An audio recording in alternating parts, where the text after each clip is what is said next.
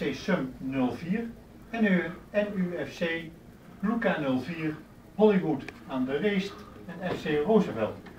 In pool B de FC Onzekerheid City Bike, Laantje van Daantje, Cosidos en Feyenoord Rules.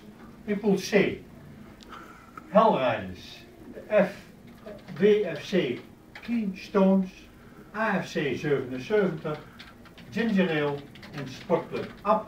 En in pool D, de laatste pool, Sportclub Genemuiden.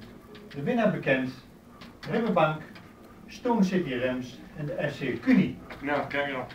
Ik eh, verwacht eh, op basis van de televisieopnamen eh, dat er geen problemen zijn eh, met eh, risicowedstrijden.